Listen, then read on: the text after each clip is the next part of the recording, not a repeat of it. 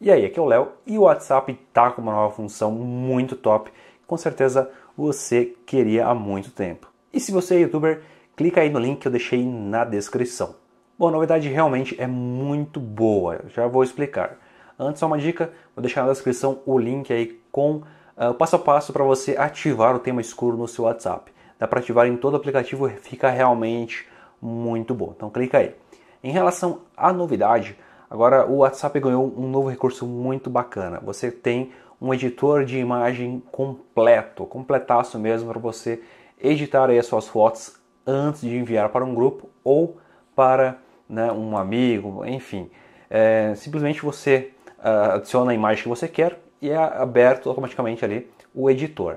Nesse editor você tem várias possibilidades, tá? Dá para fazer muita coisa, muita personalização Dá também, se você quiser, colocar stickers, desenhar, enfim, são vários recursos.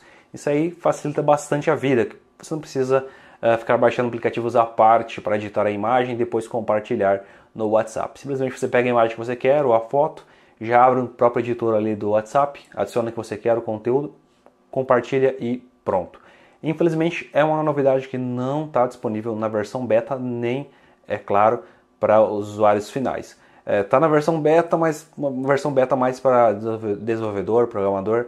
Acredito que dentro de algumas semanas no máximo essa função já esteja disponível, pelo menos para a galera que é beta. É isso. Na descrição tem um link aí para você que é youtuber, tem um link aí para você que quer o tema escuro. Fico por aqui, até o próximo vídeo.